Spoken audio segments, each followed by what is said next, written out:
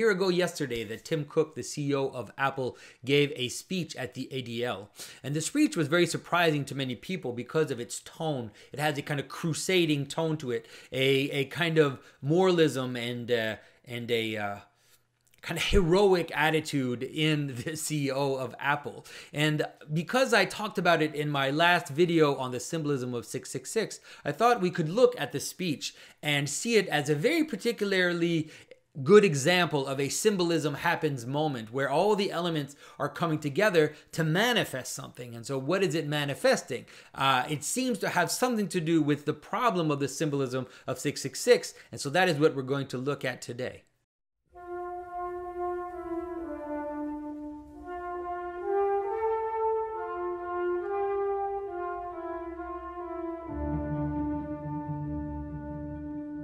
This is Jonathan Pageau Welcome to the symbolic world.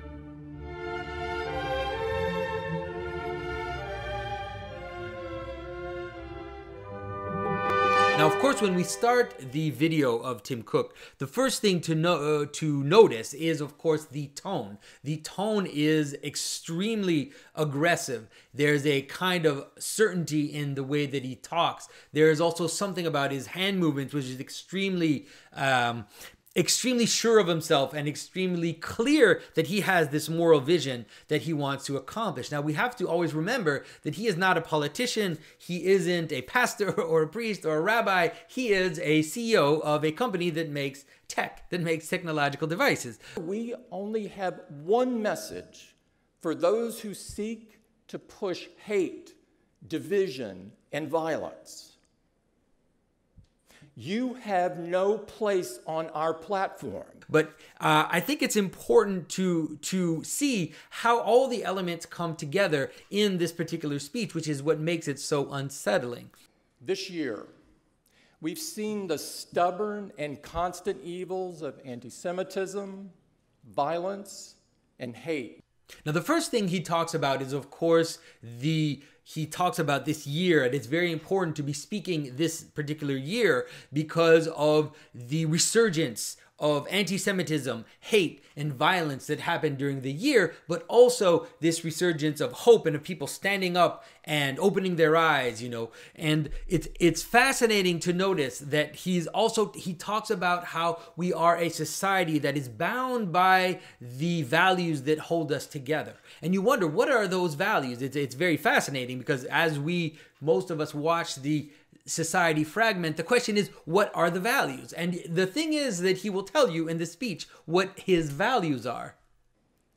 Despair is unethical. Now, the first thing he brings up is this speech that he saw and this lady who talked about how it is unethical to despair. Now, it's very important to notice this is the first sign of what it is that he's going to be talking about.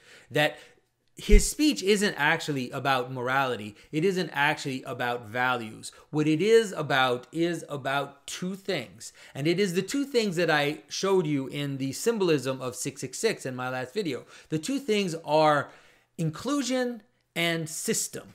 That is, the only value that really matters is the value of inclusion and the only thing that is a problem is that is is that that if you oppose yourself to that system which is created to include everybody. And you can see it in the first thing that he says, which is that it is unethical to despair. And that is a crazy statement to make. It is crazy to say that it is unethical to despair because despair already is this first sense of this breakdown which happens in the margin. He frames it first in terms of meaning and in terms of uh, your place in the world and your vision for the future. And he says the first thing is that it is immoral for there to be a, something on the edge of that. It is immoral for there to be a breakdown of that hope. It is unethical. And that is a that is a very fascinating thing. And so because it is unethical, then we have to mobilize ourselves and we have to act. We have to act in order to prevent there from being despair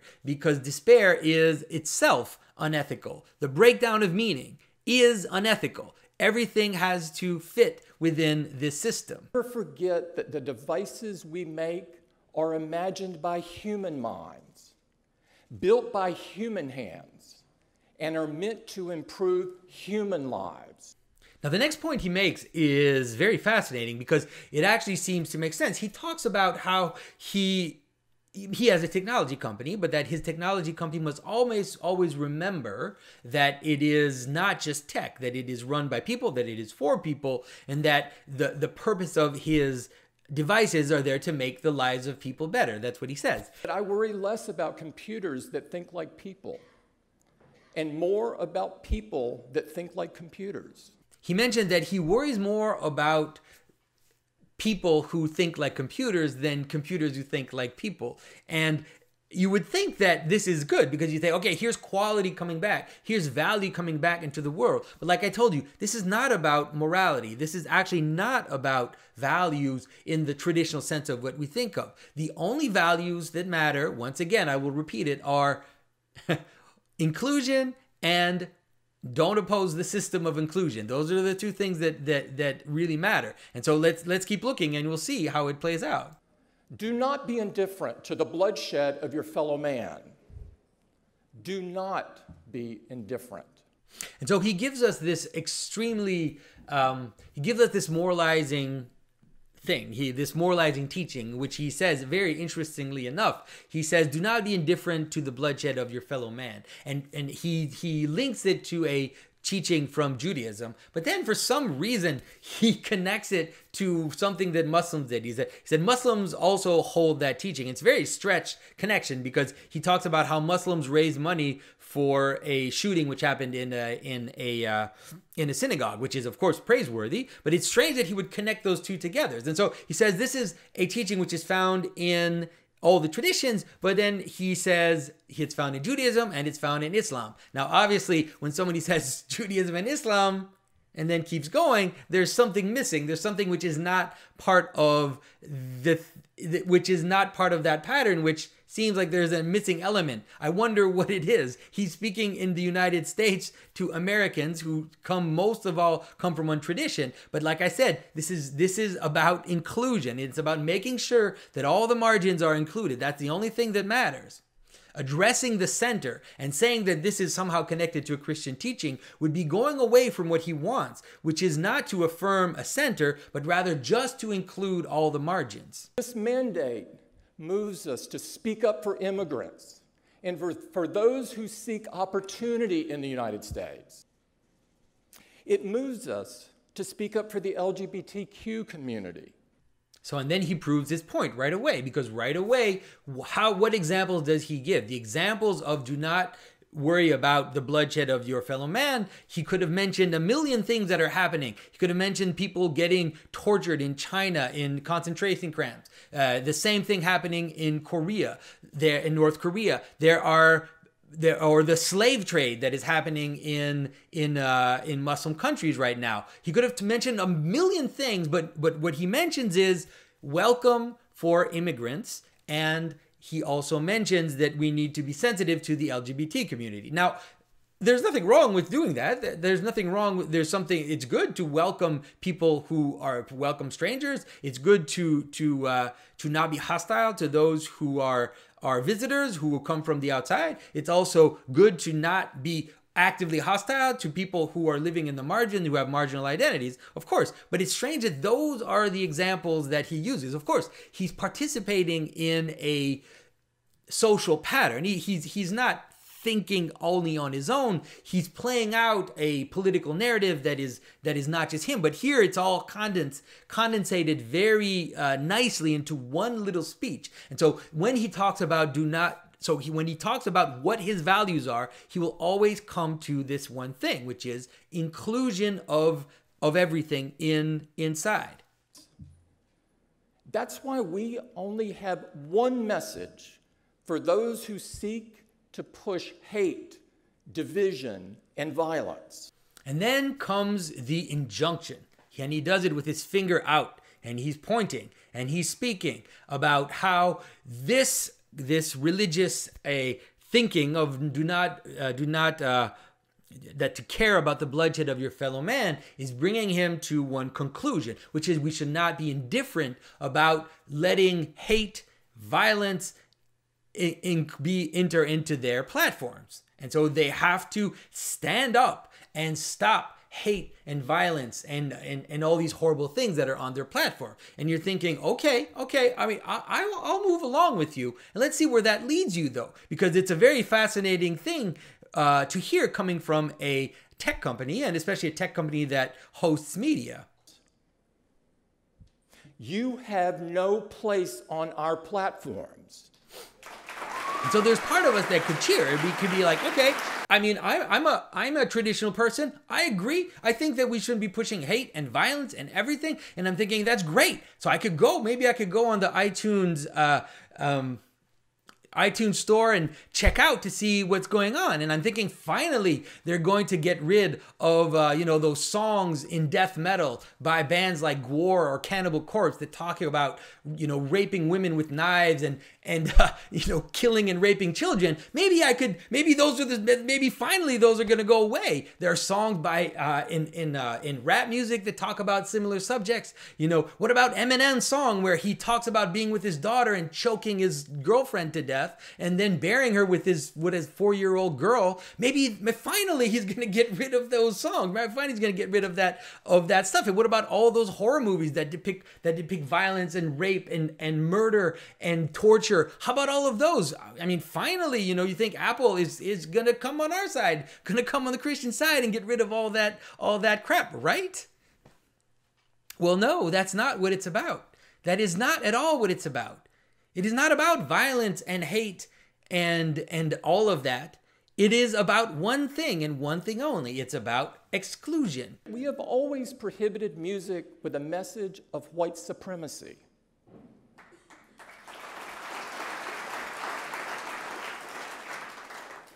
Why? Because it's the right thing to do. And as we showed this year, we won't give a platform to violent conspiracy theorists on the App Store.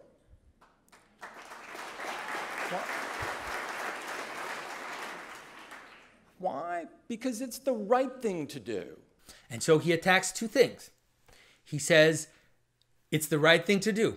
Why are we doing this? It's the right thing to do. But he attacks two things. He attacks one thing. He says, white supremacy. And you could kind of understand that. I'm not a fan of white supremacy myself. It has been a, a tool for violence in the past, it has been a tool for violent colonization. I'm not a big fan of white supremacy. Okay, fine. But then he says, violent conspiracy theories Interesting.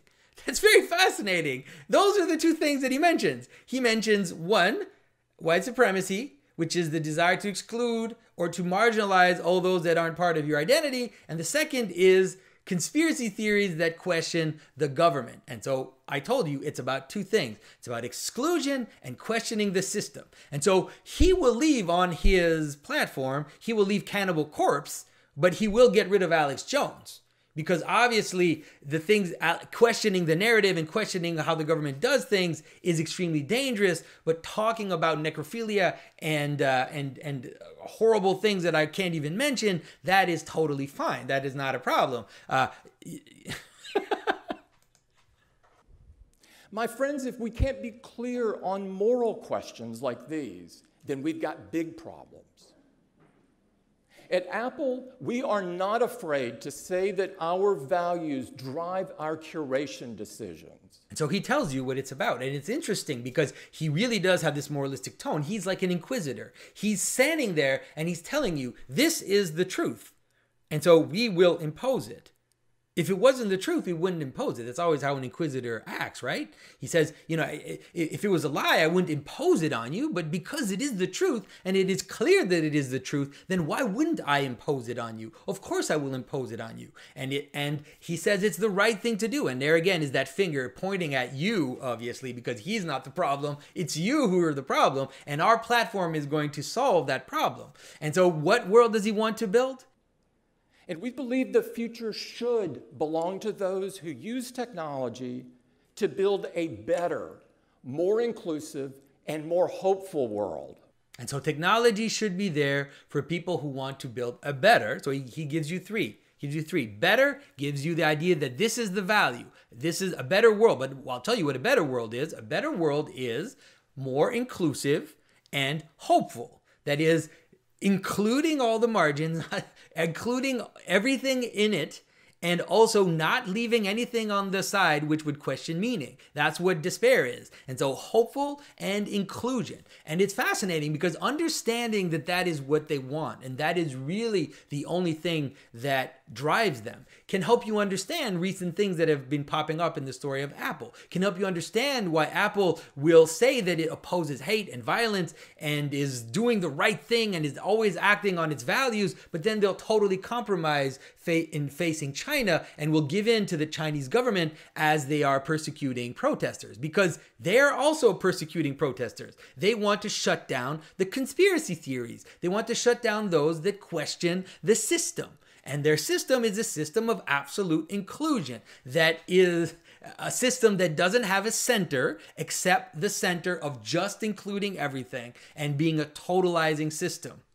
I believe the most sacred thing that each of us is given is our judgment, our morality, our own innate desire to separate right from wrong. Now, this is where the speech now becomes mythological. It really becomes a symbolism happen moment.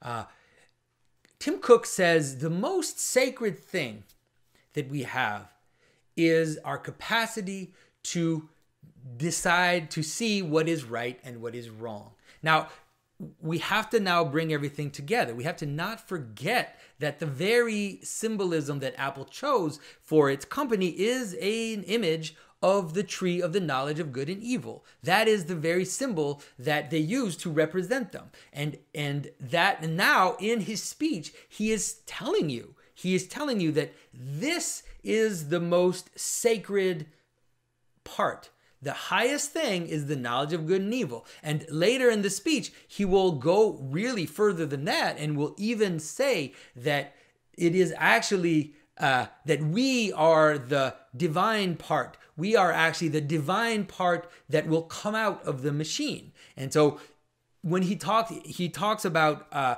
the story of the God out of the machine and uh, he says that there's this trope, this ancient trope of the God out of the machine. And in this trope, he, it's a trope in theater. It was an old trope to to talk about how you know you solve a narrative problem through technology. You just have a crane which picks the character up and takes him out of the of the problem. And it was also this idea that god just appears and just kind of solves the issue in the narrative. And so the narrative doesn't resolve itself naturally. And so he says but you can see that he he, he there's something about that that he wants. He he understands that there's something about that that he wants. But he doesn't want the machine to rule. He wants us. He wants us to rule. He wants us to be the god out of the machine. In the God out of the machine part, he says, We are the ones who are the God part. Now, connect that to what he said just before, which is that our most sacred capacity is to differentiate good and evil. And what do you have? You have the snake in the garden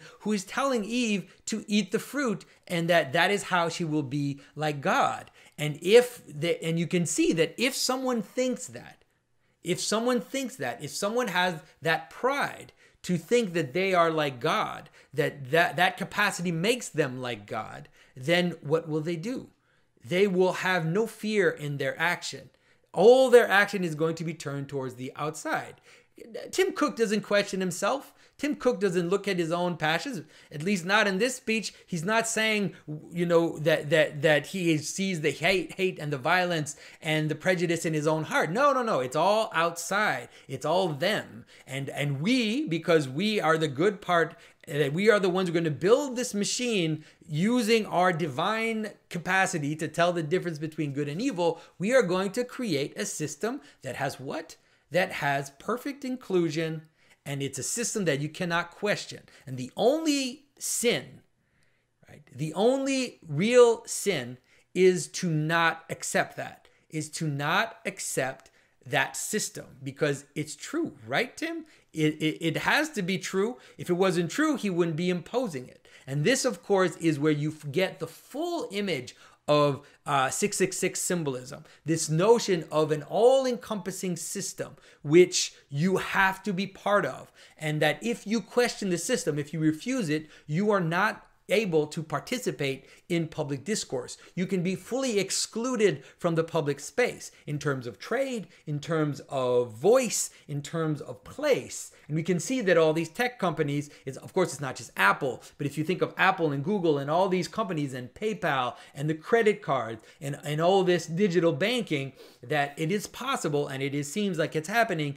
to create a system that will that by wanting to include everything explicitly, not leaving things in the margin, by wanting to take the margin and give it a proper identity, will create this totalizing, this totalizing contradiction of which the only sin will be to not want to be in the system or to question the narrative that it is proposing. Because it isn't in their idea a narrative, it's the truth. It's just the the, the fullness, the full reality, uh, the fullness of reality being presented to you. So what I hope is that I hope that this uh, little glimpse into Tim Cook's speech has helped you understand a little more what I was talking about in my video on the symbolism of 666. And I think, well, I think also I, I just want to say I, I, we have to be careful in not pointing fingers. And I'm not saying that Apple is the Apple is the beast or what. That's not what I'm saying. I'm saying that this process that we're seeing happening in front of us is participating in the symbolism of 666, and we need to be attentive to it because it's going to do what it's going to do. It's going to do what is de- what is described in Revelations, which is that if you do not accept their sign on your forehead, you know, in your mind and in your action, if you do not accept their sign, their total inclusion, then you will not be able to participate. You will not be able to participate in society. And it seems like, like that is the image of the world that they have. And so I hope this was useful in understanding some more symbolism. And uh, so, guys, I will see you soon. And talking about trading and participating in society, at least for now, it is still possible to engage and uh, I designed some uh, some new things for uh, for the Christmas season. A few T-shirts and some new merchandise. People seem to be appreciated. It was even shared by Rod Dreher on Twitter. Uh, the uh, T-shirt on the six days of creation. So check it out. You still have a few days uh, to order it so that it'll arrive before Christmas. So if you're interested, go ahead. And thanks a lot, everybody, for your support. Don't forget to subscribe also to the Clips channel, which is putting stuff all, almost every day. I think. Thank you for the volunteers who are involved in that. And I will talk to everybody very soon.